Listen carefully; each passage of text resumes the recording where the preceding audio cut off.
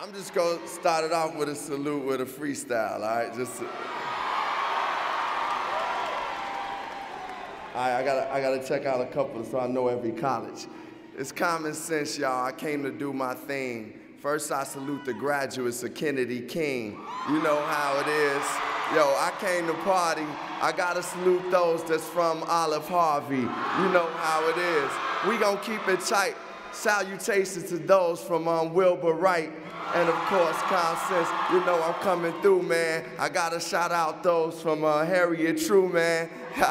That's how it be. The style is free. You see, we talking about the colleges of the sea. That's Chicago. You know how it be. We from the Chi, man. I be down with the chancellor. Her name is Hyman. That's how it be. Since I came down. You know I give love to who the Chi town. But you know what time it is. Sometimes I read a text. I gotta give it up to the College of Malcolm X.